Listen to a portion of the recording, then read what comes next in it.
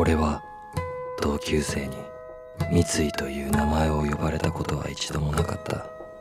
多分それまでずっと。もう一度名前を呼ばれたい。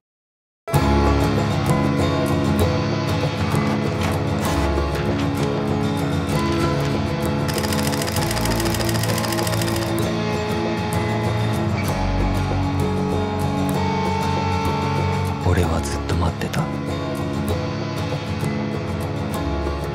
彼女のベッドの下で。俺が嫌か！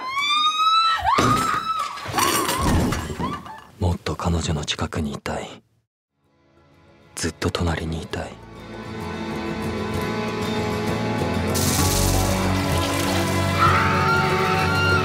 話してください